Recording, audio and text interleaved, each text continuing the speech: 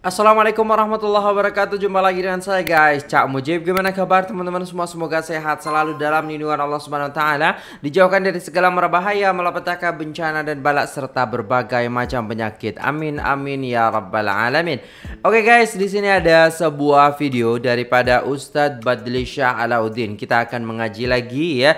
Mendengarkan kajian daripada Ustadz Badli Shah Alauddin ini guys. Sebelumnya jangan lupa untuk disupport channel Ustadz Badli Shah Official spesial ya. Buat teman-teman semua jangan lupa di subscribe sudah mencapai 239 ribu subscriber dan semoga dengan video ini ya teman-teman sekalian sedikit membantu ya buat teman-teman untuk subscribe ke channelnya Ustadz Badli Shah yaitu Badli Shah Alauddin Official. Jom kita tengok videonya guys. Let's go. Lihat.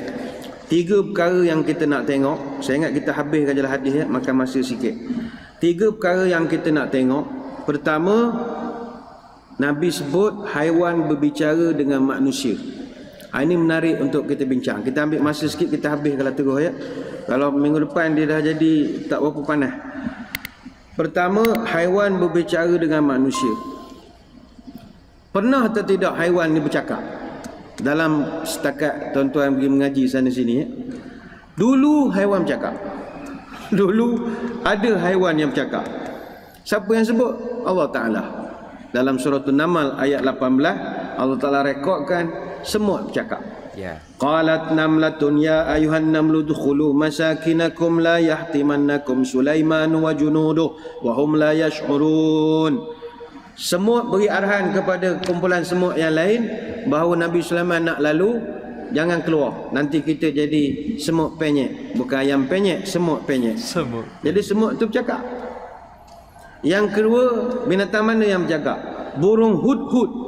Dalam surah An-Naml ayat 23 sampai 24. Inni wajatum ra'atan tamlikuhum wa utiyat min kulli syai'in walaha arsyun azim. Sesungguhnya ini cerita hud-hud dia report kepada Nabi Sulaiman. Dia kuat mengadu. Dia report pada Nabi Sulaiman. Ampun tuanku, patik jumpa seorang wanita yang memerintah dan dia dianugerahkan sesuatu dan mempunyai singgah sana yang besar. Aku dapati kaumnya sedang menyembah matahari selain pada Allah dan syaitan telah menjadikan mereka memandang indah perbuatan mereka lalu menghalang mereka daripada mendapat petunjuk. Dia report pada Nabi Sulaiman. Jadi dia boleh bercakap. Nabi sebut ziban yatakallam kau akan jumpa serigala yang bercakap. Pening pagi ni kita fikir. Ada tak serigala yang bercakap? Dia begini ya.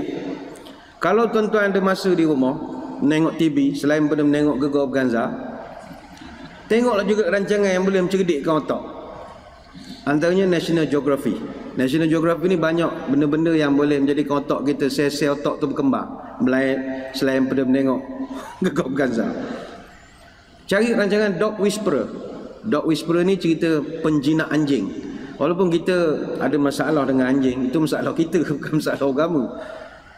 Dog Whisperer ni dihostkan oleh Season Milan. Season Milan ni dog trainer, orang panggil Alparero, the dog boy. Dia memang pandai train anjing. Okay. Siapa nak kawal anak degi, tengok rancangan tu. Macam mana dia boleh hajar anjing yang tak kerti bahasa, jadi reti. Lepas tu dia akan bagi tips. Ah. Kalau anjing kita boleh jinak takkan anak tak boleh.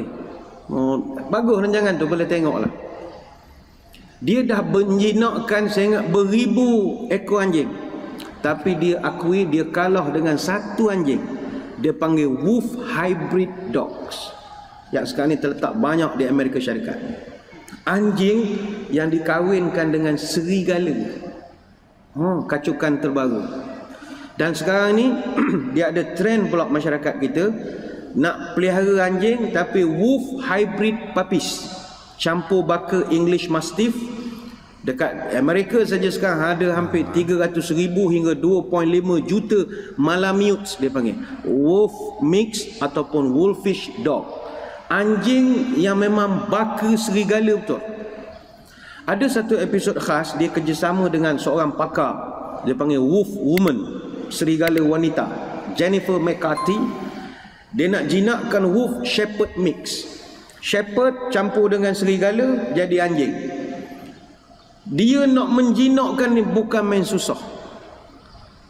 Tentang haiwan ini ada satu buku Amazing Dogs A Cabinet of Canine Curiosity Dr. Jan Bondenson tahun 2011 kata dia anjing cakap ni dah lama dah terutama wow. anjing hybrid ini masa era perang dunia kedua tentera Nazi memang latih anjing mereka untuk cakap dia ada sekolah anjing betul Awal abad ke-20 ditubuhkan satu institut penyelidikan dekat Munich untuk kaji human animal communication. Hmm.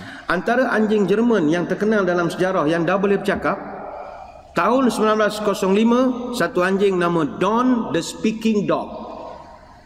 Kenapa nama dia Don? Nyanyi betul ya. Don the Speaking Dog. Anjing yang bercakap namanya Don. Dia boleh sebut beberapa perkataan Habem, Habem, anjing tu. Habem tu dalam bahasa Jerman maknanya no, one, anak urid. Dia boleh sebut kuchen, kuchen, kek. Dia nak makan kek. Dia boleh sebut ja, ja tu yes lah, naam. Dia boleh sebut nine, nine tu no lah, nine bahasa Jerman. Ada satu lagi anjing dilatih oleh saintis Jerman nama Rolf. Dia kita eja perkataan, dia boleh tunjuk guna tangan pada abjad yang sesuai. Anjing sekolah, anjing cerdik. Mak kata Piramli, oh rimau sekolah katanya. Memang sebelum dari itu tahun 1930 telah ada school for talking dogs di oh. Lut, di Leitenberg di Germany dikenali sebagai Hund Ebschrei Schunle Asra. Dia latih anjing-anjing itu kalau sebut Adolf Hitler mereka akan jawab mein Führer itu betul itu. Anjing boleh jaga Adolf Hitler mein Führer mein Führer itu maknanya pemimpin saya pemimpin saya. Lebih kurang satu Malaysia. Lebih kurang satu Malaysia. Kita tak latih lah pula begitu ya dan terbaru anjing yang terkenal ni saya ni nak membenarkan apa yang Nabi sebut Allah. ada satu anjing terkenal anjing baka uh, anjing baka Siberian Husky umur 9 tahun namanya Mishka. Tuan-tuan boleh buka dalam YouTube habis kelas ni sekarang. Kalau tuan-tuan puan-puan tengok rupanya macam serigala. Oh, Pada tahun 2008 tuan dia muat naik satu video dalam YouTube dia boleh bercakap perkataan I love you. Dan setakat hari semalam videonya ditonton oleh 108 juta 595,798 orang dah menengok anjing bercakap dia boleh cakap I love you. I love you. Cara anjing I love you. Anjing dan sampai peringkat kalau kita kaji video dia dia dah boleh cakap super kali fragilisticexpialidocious dia boleh cakap berbunyi dah orang kaji apa dia cakap tapi dia arwah dah baru meninggal. Tidaklah baru juga oh. arwah. Boleh panggil arwah, arwah lah. Dia arwah meninggal anjing, 5 ya. April tahun 2017. Banyak oh. kena paksa cakap pergi sekolah agamanya meninggal. Dia kena sel tumor meninggal. Kalau tuan-tuan minat nak kaji anjing serigala kacukan cakap ni banyak buku. Amazing Dogs, A Cabinet of Canine Curiosity, Dr. Jan Bondenson. Kitab Wild Talents karangan Charles Hoyford juga ada menulis tentang buku ini. Ini baru yang pertama eh. Ini hak tali kasut cakap ni boleh sambung. Boleh sambung ke tuan-tuan lorat nak balik dah? Kalau lorat kita berhenti je. Sambung sikit alang kepala dah. Perkara kedua yang kita nak tengok adalah Nabi sebut benda-benda mati seperti hujung cemeti dan tali kasut cakap. Soalan. Setakat tuan-tuan kulu kilih, ada tak kasut cakap? Sebenarnya ada. Kek kita tak mampu beli. Itu saja.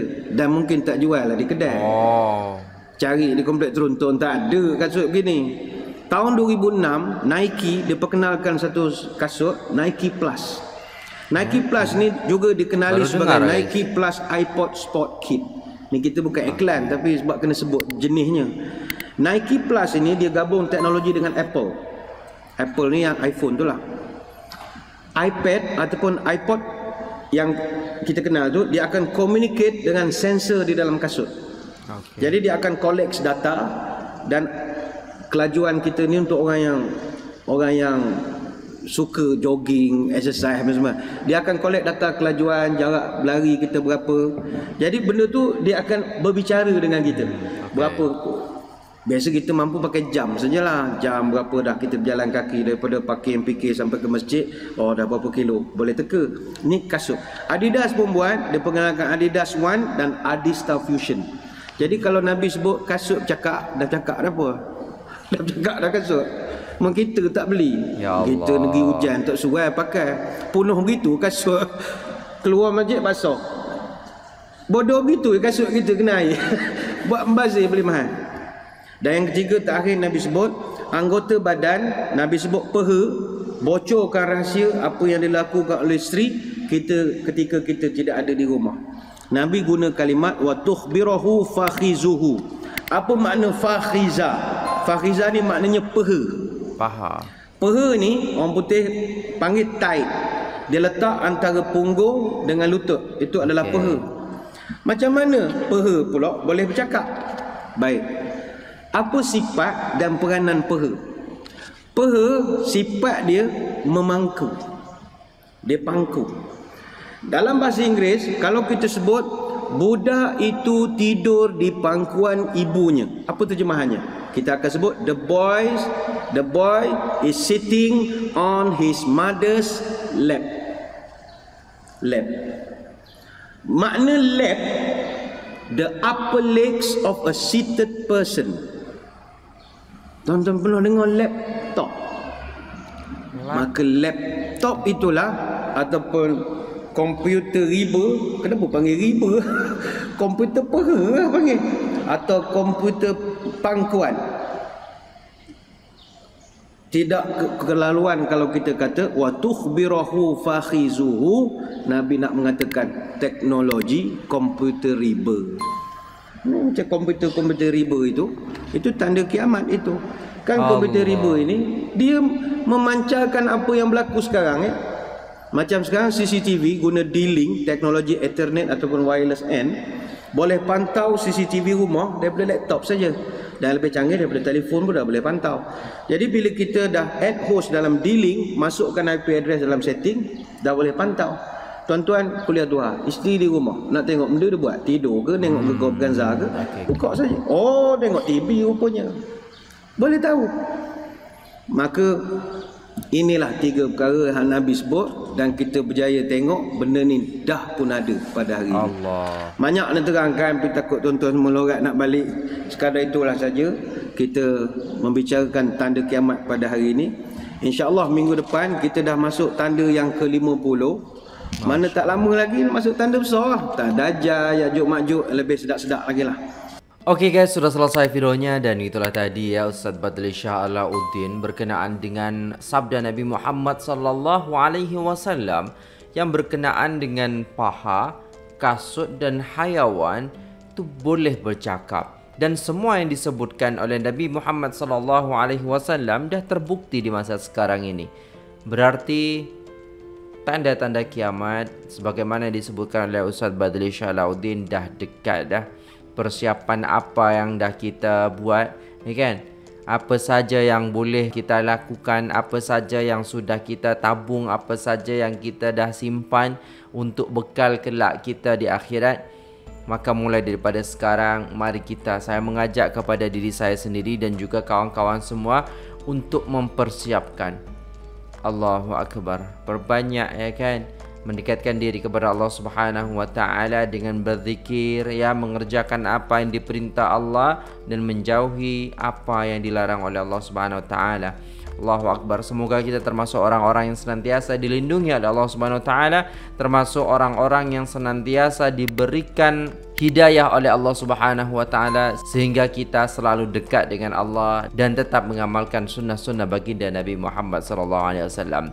Oke guys, mungkin itu saja video kali ini semoga bermanfaat untuk kita semua, semoga menambah ilmu pengetahuan kita termasuk juga ilmu ya tanda-tanda hari kiamat yang mana Ustaz Badli Shah sudah menyebutkan, sudah menyampaikan secara terperinci, tinggal kita aja yang mempersiapkan ya bagaimana persiapan kita untuk menuju ke sana guys ya.